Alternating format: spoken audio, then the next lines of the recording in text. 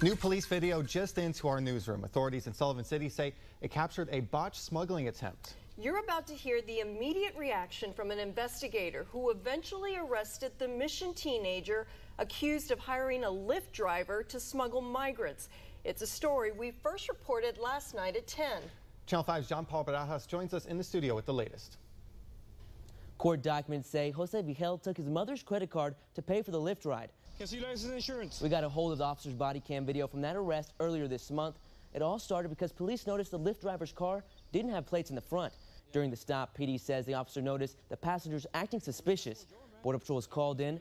This is how the officer explained the situation to Border Patrol. Well, he, he just basically. Okay, so are they all uh, illegal or what? Yeah, Where's- just him. And who is he? He's a Lyft driver. Yeah. The driver's not facing any charges according to PD. He had no idea two of his passengers were in the country illegally.